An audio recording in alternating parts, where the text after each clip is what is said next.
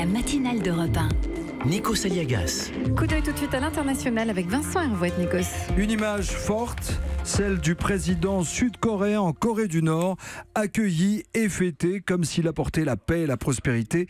Les images sont saisissantes, euh, Vincent Herouette. Ah oui, le président Moon a connu une sorte de triomphe romain traversant Pyongyang, comme on remonte les Champs-Élysées avec des avenues taillées si larges que les lance-missiles thermonucléaires pourraient manœuvrer à l'aise. Et puis alignés depuis l'aube, des milliers et des milliers de figurantes en tenue traditionnelle aux couleurs acidulées qui agitent de grands bouquets de fleurs en papier, qui chantent le même refrain, réunification, qui ovationne le président Moon. Alors il a salué de la main sans avoir de crampes, il avait l'air heureux, un rêve éveillé. À ses côtés, Kim Jong-un, caparaçonné dans un gilet pare-balles, la silhouette d'un scaphandrier, l'air toujours un peu lunaire, saluait aussi. C'est son métier de se faire aduler par la foule.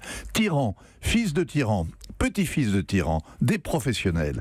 Mettre en scène les masses populaires est une spécialité locale. L'autre est de laisser croire aux étrangers de passage ce qu'ils ont envie de croire. Le président Moon a très envie de croire que la réunification est à portée de main, comme Donald Trump avait très envie de croire à la dénucléarisation. Et ce matin, les Nord-Coréens aussi euh, donnent des gages. Alors ils disent qu'ils fermeront leurs installations nucléaires si les Américains prennent des mesures dans le même sens. Qu'ils supprimeront un site de missiles en présence d'experts étrangers. C'est très flou, très flou. Mais qui m'est ravi. Et Donald Trump applaudit. Et pour cause, il sauve la face. Il y a un an, l'Américain menaçait Rocketman du feu et de la fureur. Il y a trois mois, à Singapour, il a cru obtenir un deal historique. Kim lui a promis la dénucléarisation, mais sans aucune précision. Arrivé les points fermés, Donald Trump est reparti les mains vides. Kim Jong-un lui a rompu son isolement.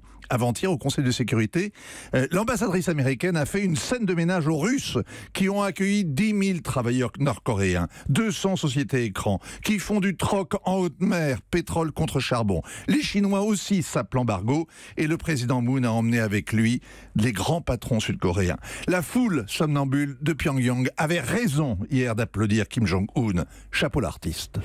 Kim Jong-un qui annonce une visite historique à Séoul dans un avenir proche. J'imagine que vous n'avez pas encore la date. Ce sera formidable en tout cas.